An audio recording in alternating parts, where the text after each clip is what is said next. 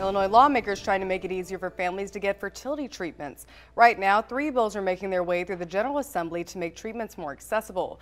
The first bill would require insurers to cover expenses for standard fertility preservation and follow-up services. Right now, coverage is only required for patients who have been diagnosed with infertility. The second bill would require employers with more than 25 employees to provide coverage for the diagnosis and treatment of infertility in women.